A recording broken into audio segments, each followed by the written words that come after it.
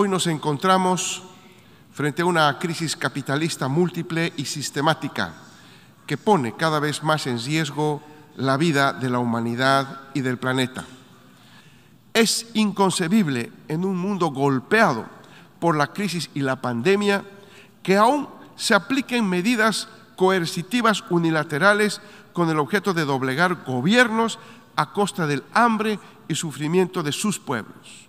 Un lamentable ejemplo que deberíamos hacer reflexionar de cómo las decisiones mayoritariamente tomadas cada año en esta Asamblea son incumplidas por determinados países. No existe ninguno de los dos, ni derechos humanos ni democracia, cuando la preservación de los privilegios en unos pocos se hace a costa del incumplimiento efectivo de los derechos económicos, sociales y culturales de las mayorías.